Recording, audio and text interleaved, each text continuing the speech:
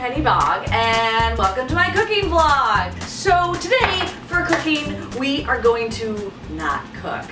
We're gonna stay away from fire and heat and things like that and we are gonna do a really lovely fancy schmancy cheese platter.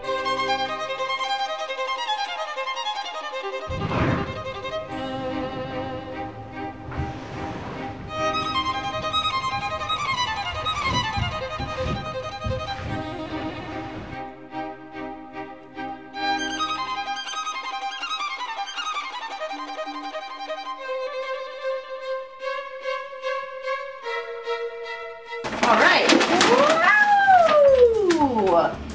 Okay, so today our cheeses come from Murray's, which is really awesome. They're cool. With each cheese, it gives you a description. They have like this really fun novel sort of thing that you get to read on there about it, and uh, sometimes they have a good sense of humor about things. This one's Rockford. Rockford. Yeah. Oh, arguably the world's greatest blue. We'll see about that one. Oh, I just saw this one. Toasty, biting, nutty. Uh, fromage de fino, de, de, de finoise. I'm a little nervous when they wrap it so much, like they don't want you to smell it.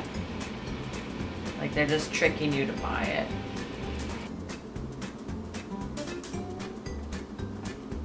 I'm excited for this one because it's probably gonna taste like wine. God. Oh god.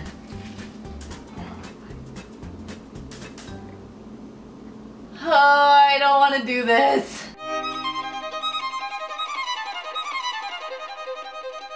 Let's start with my friend Defino. Okay. Yeah. So, Fromage de gets a win from me.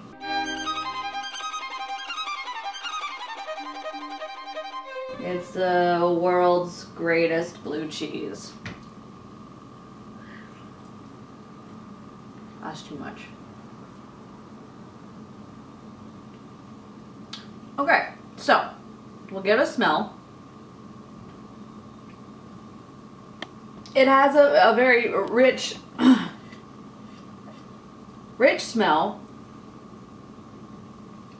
So,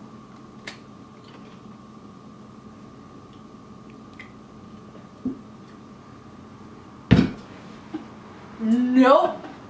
Uh-uh.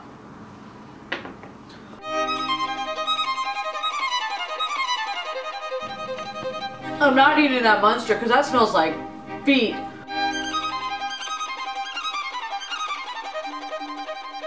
I do want to try the caviar. We'll just do a little bit because as we've learned,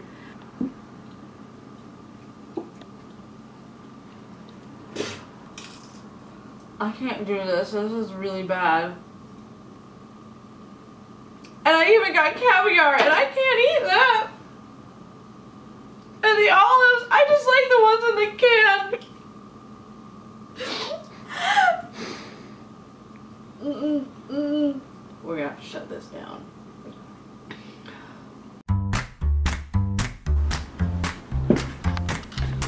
You know what's gonna be really good?